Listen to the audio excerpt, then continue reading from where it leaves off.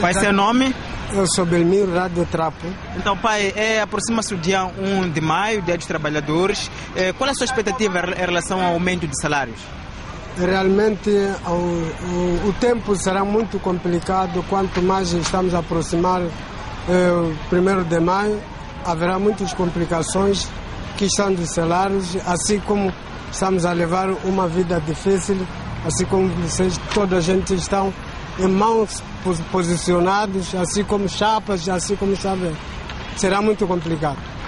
Mas faltam poucos dias, quase menos de duas semanas para o 1 de maio. Ainda não se falou daquilo que vai ser o aumento. Acredita que o Estado vai anunciar aumentos? O que é que o Papá pensa em relação a isso? Eu acho que a real, realidade seria que o Estado devia anunciar qualquer coisa que ele vende, que o povo ainda está. Aquilo que ele vê, o, o, o Estado que deverá anunciar qualquer coisa que deve estar satisfeito o povo. Exato. Neste momento, olhar aquilo que é o custo de vida, o salário mínimo ronda nos 3 mil meticais. Qual é que seria o salário razoável, olhando para aquilo que é o preço de chapa, o pão e tudo mais? A realidade é uma. E o salário devidamente nada corresponde de nada pelo povo moçambicano, de tudo. Seria verdade que o, o, o governo teria puxando o mínimo, normalmente, um dos seus 7 mil, o mínimo no salário para que resolver pouco a situação dos povos moçambicanos, que seria a realidade. Seu nome completo, pai? Eu sou Belmiro, Rádio Trapo. Okay. Obrigado, pai. Obrigado. Seu nome, papá? Jaime Machado. Então, pai, está se a aproximar o Dia dos Trabalhadores. Qual é a expectativa que cria em relação àquilo que tem sido os aumentos salariais sempre que se aproxima o 1 de maio? Já, por minha pessoa, o governo tinha que aumentar um salário compatível, né? Um salário, pelo menos, que dá para suportar essas despesas dos transportes, escola e tudo, mais nada.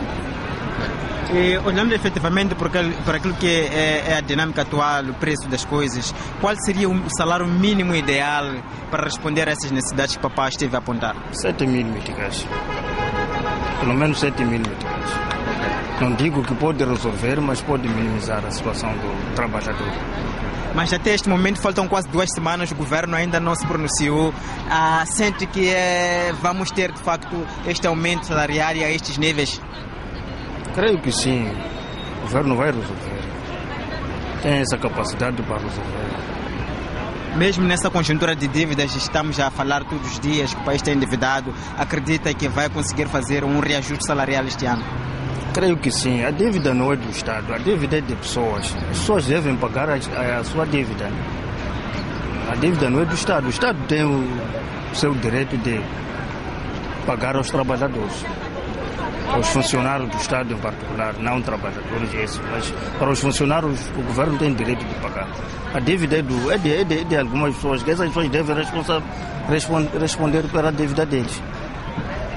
Tá. Muito obrigado, pai. Gostaria, muito obrigado. Se como vê, não é? Mas fazermos o quê? Não temos nada que fazer. Só continuando a trabalhar. O pouco que temos, continuar ver como que é a situação, porque estamos a ver a situação do país, que é um bocadinho complicado. Então temos que tentar batalhar. Eu, como mãe, sempre todos os dias tenho batalhado para ter um pouco para a minha casa, não é? Uhum. Neste momento o salário mínimo tem sido ter rondado aos 3 mil meticais. Qual seria o salário ideal para responder com, com esses desafios que o país está a atravessar? É muito difícil. Eu talvez diria que talvez fosse 6. Ah, talvez, não é? Porque não é fácil, a vida está difícil mesmo. Com as crianças na escola, com os trabalhadores, com o hospital, não é fácil. Está difícil. A minha ideia, talvez se fosse seis meticais, né? Seis mil meticais, talvez seria melhor. Seu nome completo? Eu sou Elsina Cavela. Obrigado, mãe. Okay. Prender. É, eu acho que há muita novidade no dia 1 de maio para nós todos. Mas eh, o que é que não. É difícil detalhar como vai ser, como que não vai ser. Mas tenho certeza que eh, o país está a organizar uma coisa bonita para nós todos. Há surpresa cada dia que nós temos. O resto não tem outra coisa a dizer. Mas a verdade é isso. Até hoje ainda não se falou nada de reajuste salarial e o 1 de maio sabemos que tem sido caracterizado exatamente por aumentos salariais. É, qual a expectativa que cria por aquilo que pode ser o aumento salarial este ano? Yeah, isso sim pode, é difícil porque isso muito mais cai bem para o, os que trabalham com o público. Para nós que somos de conta própria é difícil. Uh, o patronato, quando, quando eu falo de conta própria, porque o patronato, é, o padrão nosso é, depende do cliente. O cliente, enquanto a vida está um pouco complicada, tanto para do outro lado, tanto o investimento não sair como deve ser, não sair as coisas como, com a vida como está, é difícil a gente dizer alguma coisa do bom. Dizer que isto vai ser aquilo, aquilo vai ser aquilo.